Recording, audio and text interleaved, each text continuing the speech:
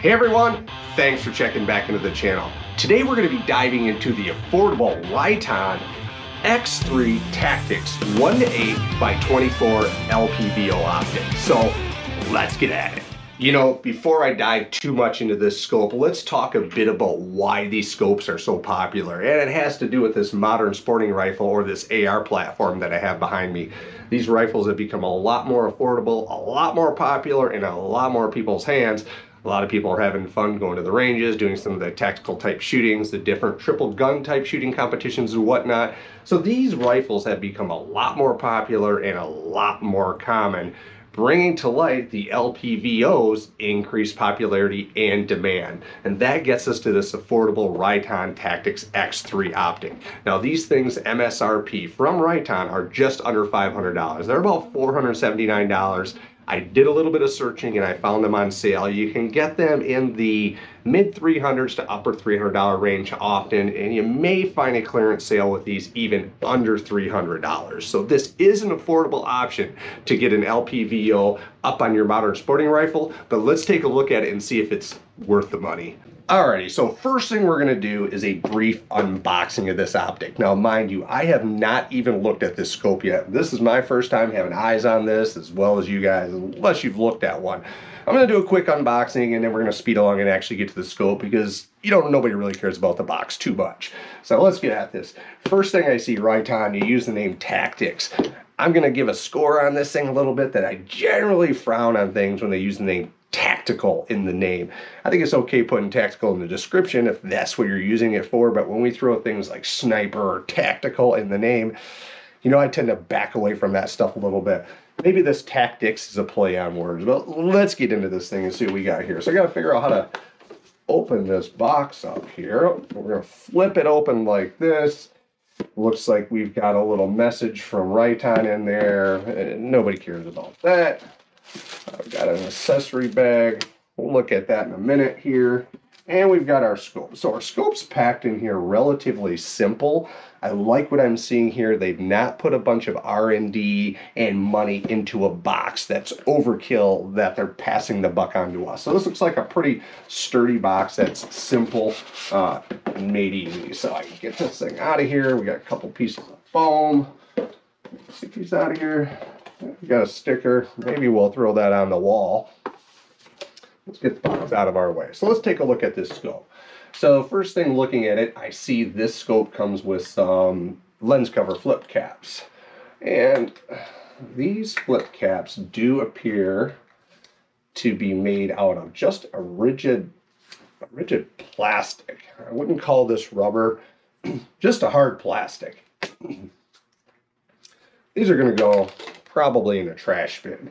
Uh, looking at this optic, this is a 1 to 8 by 24 second focal plane optic. If you're not aware of what that is, that means as you change the magnifier on this, the reticle does not stay consistent for holdovers. Typically on this kind of a scope, we're going to have to set this thing at the max power of 8 to use the reticle for holdovers versus a first focal plane, you know, like this Arken Optics EP8. Any magnification, you can use the holdovers at any distance and get the same precise holdover uh, ratio. On this, you're going to have to have this thing, uh, with it being second focal plane, up on 8. You know, some people may ask, you know, why do you want a second focal plane? my eyes are getting worse and for me second focal plane can be better because the reticle actually stays thicker easier to see in some regard and if you're not doing holdovers you really don't even need that first focal plane so much unless you want that accuracy of having a thin reticle but i'm rambling let's keep looking at this guy all right so our ocular adjustment i'm sure this has one feels pretty smooth. It's quiet, no grit, no nothing in there. Everybody always checks that out first, right? Uh, how about this magnifier? So we're going to go from one. Oh, I like what I feel here. It's not too tight. I don't feel any kind of grit, any kind of a pulsing, like as the O-rings in there, sometimes they don't have lubricant on them and you can feel tight spots and looser spots. This actually feels pretty good. Uh, it's got a sticker on it. This is Veterano, like that. Oh, it will come off. And let's see, let's get to our turret caps. Turret caps are also made of aluminum. Come off nice. Real nice sharp edges on these turret caps, meaning these things have some good machining going on. But let's check out these turret caps. So these are half MOA adjustments on this optic here. Uh, very, very small numbers on the markings on these turrets. These are really small and there's an extremely small little dot for you to line that up. Now, I don't know about you guys, but if I hold this thing about like I would on a rifle, it's a little bit hard to see those numbers. Um, as far as the feel, the tech, uh, tactile, you know, feeling the clicks and hearing the clicks, it's not too bad. Uh, it does spin relatively easy, but they do feel like they engage in each click really well. And the same on the elevation turret. Now, right off the rip, what I'm finding with this thing is, boy, I will tell you, it may be hard if you were actually dialing in solutions with this thing. It might actually be hard to get that quickly back on your zero dot. This is really fine stuff here.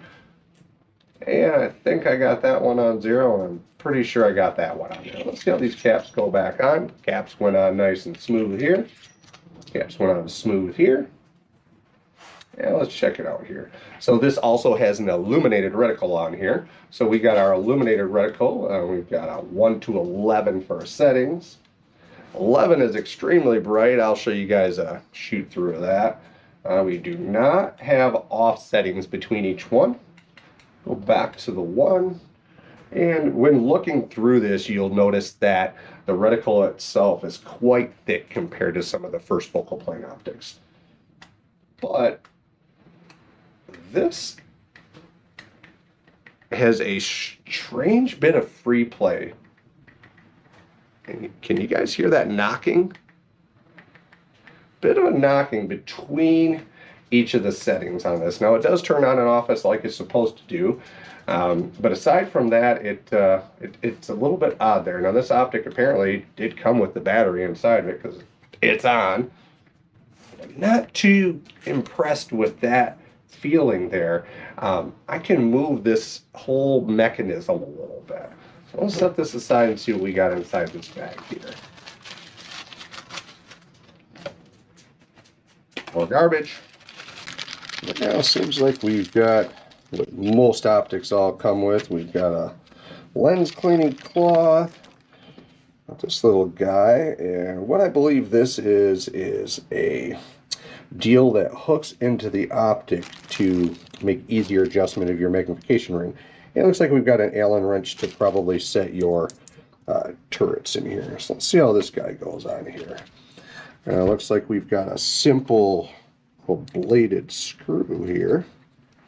And we'll loosen this up. And I know this is something that Riton says is their little patented way of doing this or something, but I know a lot of optics do the same setup. But, you know, that's it for our accessories. We've got a little magnification knob that goes up in there. Uh, probably don't want to lose this little cap. I'll throw her in there. Cloth, and that wrench wherever it went here. All right, well, with all that accessory stuff out of the way, let's finish up taking a quick overview look at this thing. Again, the ocular adjustment's nice and smooth. Um, with this little lever on here, it does allow for an easier movement. It's definitely not too damn tight, but it moves nice and smooth. There's no binding or nothing in there. I like the feel of the magnifier actually. So this goes from 1 to 8 with no issues. Uh, we do have a good quality threading for these caps. They go on nice and snug. I wouldn't be worried about losing those. Uh, finish is nice on this. Now this is a 30 millimeter tube um, versus some of the more common ones you may see these days with a 34 on them with some of the more high power precision optics. I think 30 is plenty on this optic. Um, battery compartment, I did not open this. Let's see if I can get this open real quick. Battery compartment is on the end, like they all usually are, and it uses your typical CR2032 battery. Uh, this cap uh, does appear to have an O-ring on it, so this should be waterproof get this guy to go back on here. All of the machining of this scope seems to be pretty well done as far as that goes. If I can get this cap back on here. These can be a stinker because the battery itself has a setup where there is uh, little prongs that push on there. Now this is a little bit difficult getting on.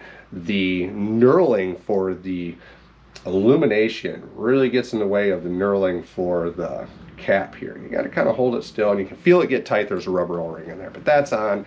Um, and again, gosh, I am just not real keen on, on this illuminator. Mm. Aside from that, the finish looks good. Uh, the markings and all that stuff seem all right on it. Let's go look through it.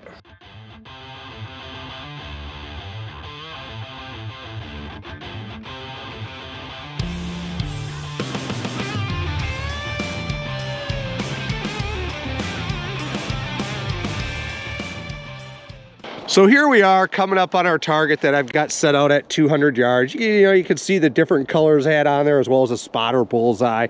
I really don't have any concerns with the glass. To me, the glass seemed like it worked well on all magnifications as well as even the illumination worked well. So for the money, I think the glass on this optic works really well. So I'm gonna get this target all packed up, get back to the old Ruger Gundog HQ and wrap this review up of this Riton optic. All right, all back in from out in the cold and getting some shoot through footage for you guys. So let's summarize this stuff up real quick here. You know, I did not mention at the beginning, this is an optic that I bought with my own money. This was not sent to me. I was not contacted by Riton or anybody else. This is something that I bought with my own money. So this review is as impartial as I can get considering I bought this damn thing. Um, regarding the shoot through footage, I always do like to say that keep in mind any of the shoot through footage that you see from any setup is not going to be as good of a clear representation that you may get with your own eye. I was simply using my cell phone with the scope uh, squeezed up in a death grip tripod to get this footage. But even with a Tactacam or some other shoot-through footage setups, I, in my opinion, don't think that they represent the clarity that you really get with your eyes. So with all that said, in review real quick going over this thing. So the finish, the fit, the feel, and everything of the optic overall I think is pretty good. I think that the machining of the optic is good. The only issue that I have regarding anything that has to do with mechanical aspects is this darn illumination knob. This stinker has a little bit of a half click kind of a free play I don't know if that is specific to this one that I have. You know, maybe I could send this thing back and get another one and it won't do that. Or if it's a flaw in the design. Not sure. Everything else on the scope seems to work mechanically just great and fine. I do think that these caps, again, are garbage. I wouldn't use those things. They seem like they're just some rigid plastic or whatnot. The glass, you know, the glass is quite clear to me. I really didn't have any kind of a haze going around here, any problems with colors or anything like that. You know, if I had to really be picky about the glass, I think on some of the higher magnification, I, I got a little bit of a odd distortion maybe. Uh, it's hard to even explain that, but it's nothing that I would even really be concerned with. That's really just trying to be extremely picky about the glass. So talking about this thing, this optic retails for just under $500. So you're getting a second focal plane, 30 millimeter tube, um, optic with illumination for about 500 bucks. Um, is it a good buy? Is it worth the 500 bucks? You know, the old Ruger Gundog review here. I'm going to say that this scope itself, if you could find it, is it worth the MSRP? In light of what else is out there, I'm going to say no. I think there are better options out there for the same amount of money that offer more features and work just as well. Now, if you can find this optic on sale, um, I think this is an optic that is more like the 250 to $300 package based on what it has to offer. If this illumination thing is an isolated issue, I think it's a good buy for 250 to 300. If this illumination is really indicative of the model or any of these Riton scopes, I would give it a hard pass. So hey, with all that said, I've got this scope lined up right next to this as direct comparison to that Arken Optic EP8.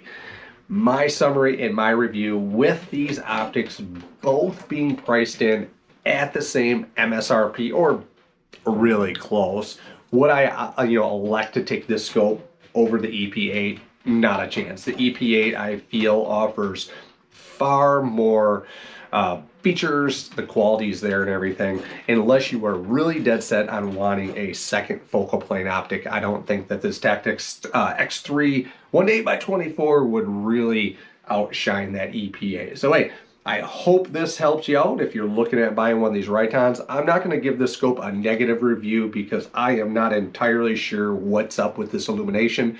Um, situation. It does work, but it has what I don't think is a good machine. Everything else seems pretty good on the scope, and what I shoot and hunt and maybe use this thing, now I bought it, I'm gonna give it a try. So with all that said, you know what I'm gonna say, keep on shooting.